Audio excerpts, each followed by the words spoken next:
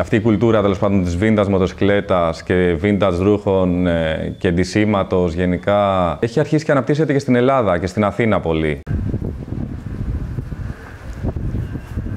Με λένε Νίκο Θεοδωρόπουλο, είμαι γραφίστας και εραστής μοτοσυκλέτας. Όλο αυτό προέκυψε, οι The Real Intellectuals δηλαδή, προκύψανε από την αγάπη μας για τη μοτοσυκλέτα και τη γραφιστική και την τέχνη μαζί. Να είναι κάτι το οποίο μπορεί να βγει μετά από δύο-τρεις μήνες, πέντε και να Η ιδέα των The Real Intellectuals προέκυψε από κάποια πράγματα που θέλαμε να φτιάξουμε και να δείξουμε στον κόσμο, όπως ήταν η μεταξωτυπία που ξεκινήσαμε σε ένα υπόγειο με ένα φίλο, το Σωτήρι. Οπότε λέμε, γιατί δεν ανοίγουμε και ένα χώρο; Το ρεύμα ήταν αυτό, μέχρι εδώ, κοίτα με, είναι. Στην ευθεία που είναι τα φεύγω, να είναι εδώ δηλαδή το φεύγω. Εδώ γίνονται και πράγματα όπως ε, χειρονεκτικές εργασίες, βάψιμο, βάψιμο πάνω σε τζάκετ, σε κράνη κτλ.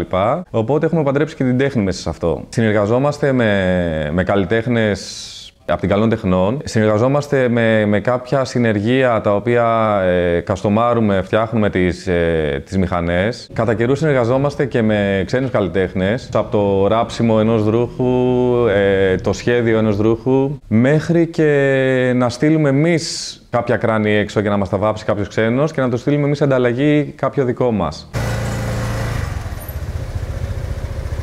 Το όνομα προέκυψε από μια φράση που είχαμε διαβάσει στο βιβλίο Jack Kerouac on the Road ε, και το πήραμε από εκεί γιατί έχει μια ηρωνία μέσα από το Real Intellectuals γιατί δεν είμαστε Real Intellectuals οπότε ε, κάτι μας έκανε. Επιρροές υπάρχουν πολλές. Υπάρχει από τη vintage πλευρά της μοτοσυκλέτας ε, που αγαπάμε, την κλασική μοτοσυκλέτα και τη μεταμοντέρνα. Τα ταξίδια στη φύση, οτιδήποτε έχει να κάνει με, με το adventure της φάσης.